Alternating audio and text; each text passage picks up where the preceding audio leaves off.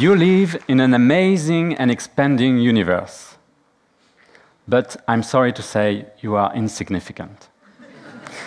you are insignificant in terms of space. Our sun is just one tiny star in our Milky Way galaxy that counts about 200 billion other stars. And guess how many galaxies there are in the universe? 170 billion. You are also insignificant in terms of time. To illustrate the duration of the human species, Carl Sagan invented the cosmic calendar. It's simply the 13.8 billion years of cosmic evolution that is compressed into one year. So the Big Bang starts in January, our Milky Way galaxy appears mid-March, life appears at end of September. And now I want you to guess in your head, when do you think the last dinosaur died? In your head. And, and when do you think the human species appeared? The answer is December 30th for the dinosaur and December 31st at 10:30 p.m. for the human species. and the history we learn at school, which represents about 10,000 years, represents only 20 seconds in this cosmic calendar. So it's time that we learn about our big history. But we are also insignificant because we are all going to die. And I mean not just us as human beings. I mean that the sun also is going to exhaust its fuel, and in about 5 billion years, it will turn into a red giant star, and it will make the oceans boil. So life would be wiped out. You may think there is an easy solution. We just build a spacecraft and we go to another star. But this doesn't work. This only delays the problem because all stars in all galaxies will eventually exhaust, exhaust their fuel. And in the end, the universe will run out of fuel and get cold and dark and is going to die. Yes, the universe is going to die. And this result is guaranteed by one of the most fundamental laws of physics, which is the second law of thermodynamics. It says that the, the total entropy can only increase, the total entropy or disorder. So I don't know how, how you feel about this picture, but physicists generally conclude that life is just a meaningless accident in a dying universe. I wanted to, to study astrophysics when I was in high school uh, because I was so curious about the universe, but I'm glad I, I didn't. Um, and actually, when, when, um, when, I was studying physics in high school, um, I was asking my physics teacher difficult conceptual questions, and, um, and she was answering me why don't you just take the equations and solve the, the exercise? so I'm glad I studied philosophy because the questions I'm most passionate about are foundational. They are at the frontier of science. And so I'm interested in questions such as um, where are we going in the far future? Are we significant in the universe? And today I want to show you that we are significant in the universe we need to look at the universe through the lens of complexity and not only through the lenses of space, time, and entropy. Indeed, the universe is not only creating entropy and disorder, it's also creating life. Think about the evolution of life on Earth. It has complexified from single cells to our amazing technological society today. So, to make it very simple, the bad guy, it's entropy it's a rise in disorder. The good guy, it's life, it's the increase in complexity. Who is going to win in the end? This is the most fascinating question you can ask about the universe. And this is where I want to take you today. And we'll start first with the past and then go to the future. Indeed, we need to understand the past to be able to envision the future. And we need to envision the future to find hope and significance in the universe. So, how does life fight against entropy? It does so through revolutions in energy, information, and control. What was the most significant revolution that happened four billion years ago? It's the origin of life. Life first invents metabolism, which is the capability to extract energy from the environment and reject waste and disorder.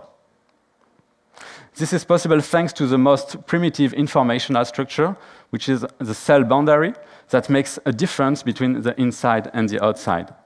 And then the cell processes are gradually, controlled by RNA and DNA molecules. Okay, we'll go towards the future. So we'll go right to the next, uh, to the last second of the cosmic calendar. What was the most significant event that happened 200 years ago?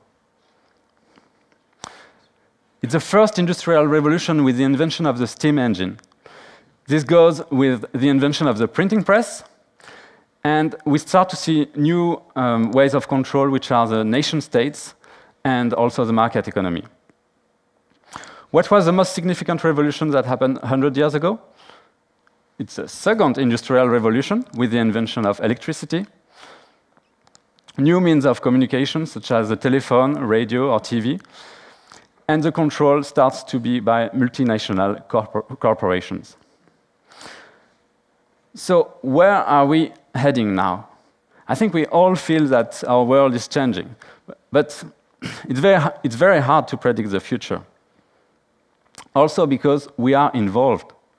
The future will depend on what we choose to do.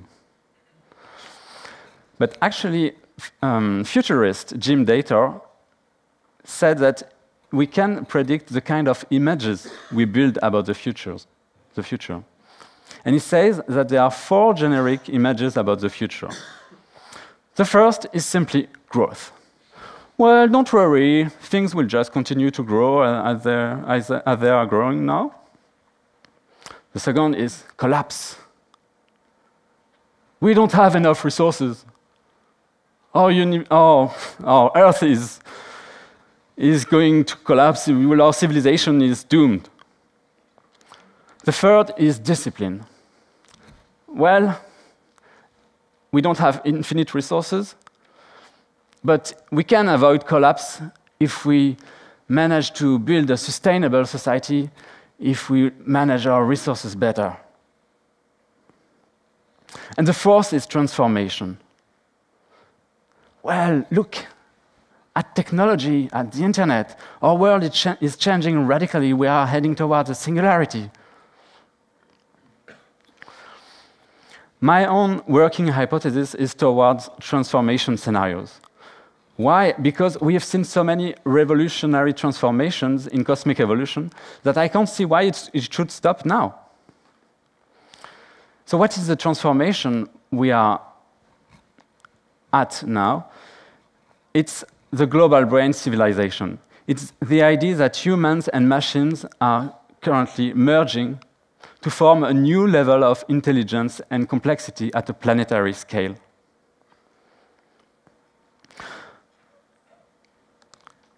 The information that leads the information revolution that leads this transition is clearly the internet. I think it's clear it has changed our, our way of communicating. The future of energy is solar because it has much more potential than any other alternative. And the control starts to be um, planetary. Think of, about um, GPS technologies, for example. And it starts also to be decentralized and distributed. For example, no single person can switch off the internet, not even Donald Trump in a mood swing. so let's keep the cosmic perspective. Is the global brain the end of cosmic evolution? Of course not. It's likely to be just one transition. But as we go into the deeper and deeper future, it becomes harder. to imagine what could come next. But one source of inspiration is science fiction. And if you've seen uh, Star Wars 7, there is a, a, new weapon that is introduced, which is called the Star Killer Base, where basically um, there is a planet that sucks in energy for, from a star. And this is clearly inspired by uh, known binary star systems in our galaxies that look like that, where uh, a dense body sucks in energy. And they are therefore called sometimes vampire stars, or they have deadly spider names such as redbacks or black widows.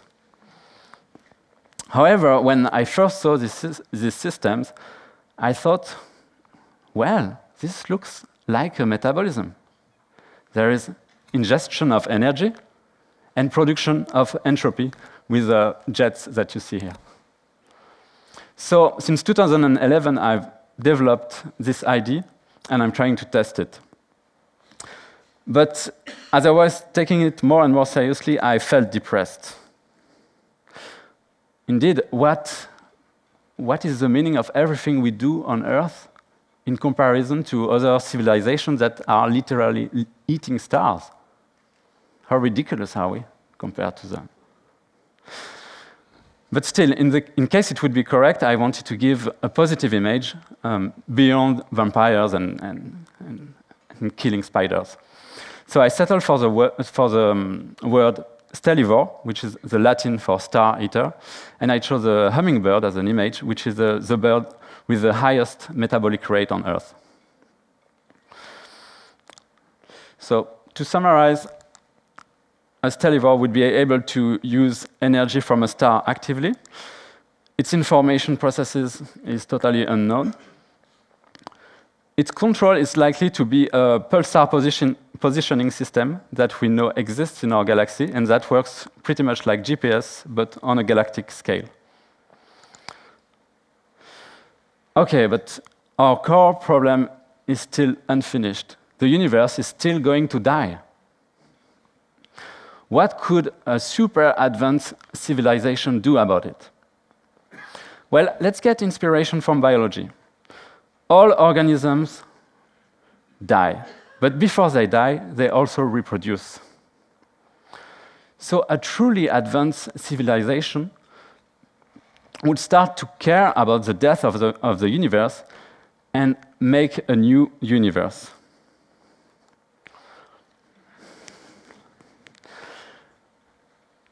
To do this, it would need enough energy to trigger a Big Bang 2.0. It would need a, a, blueprint of a new universe, and it would be controlled by the very advanced civilization. Okay, let's wrap up. We've seen how life fights against entropy through revolutions in energy, information, and control. We've seen three transformation scenarios for the far future the global brain civilization, which is the merging of humans and machines on a planetary scale, the stellivore civilizations that are able to eat stars, and the universe making civilizations that care about the greatest problem of all, which is the death of our universe. To conclude, I want to say that we are significant if we look at the universe through the lens of complexity and not only through space, time, and entropy. We are significant, even more so if we are alone in the universe, because that would mean that the complexity we have here is very rare and precious, and that we need to take great care of it. We are significant because we are alive, and as such, we are creators of order and fighters of disorder. Our mission in the universe is to continue the growth of complexity. We are significant because, informed by our big history, we can create a big future. Thank you.